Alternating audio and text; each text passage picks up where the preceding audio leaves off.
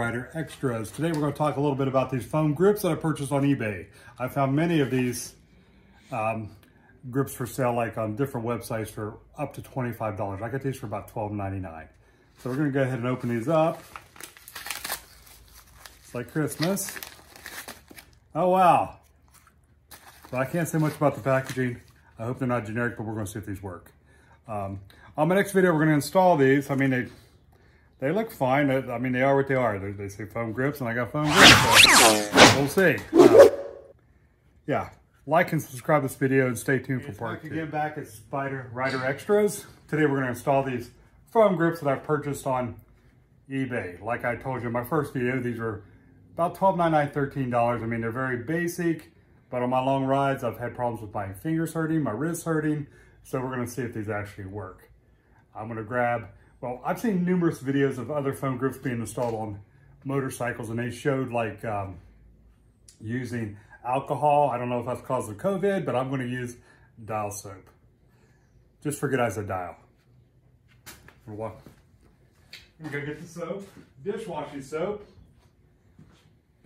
Now you can install these one of two ways. You can take off the um, the uh, end bars here, or the caps with a, looks like an Allen wrench, but I'm not gonna do that. Take a little bit of the soap, set this one down. I'm just gonna pour right inside. Again, I'm not sponsoring any kind of detergents or dishwashing detergents, so we won't look at the brand names. All right, Ajax. now you can just stretch this right over the top Let's hope this works.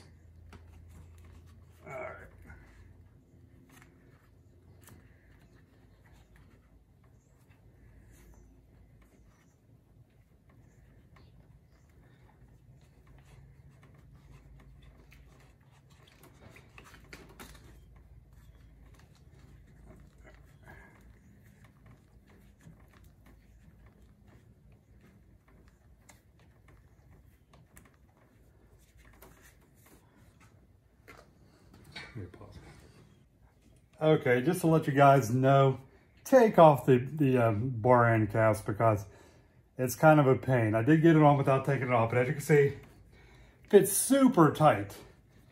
But the principle is it increases the uh, diameter of your uh, grips, which causes less fatigue as you're gripping, as you can see. You basically don't have to work as hard. Now we're gonna do the other side. Now the other side's a little different for me. I have a helmet holder on there. So this will be another experience. Let's see if we can get this on. We'll try a little different this time. All right. Same principle.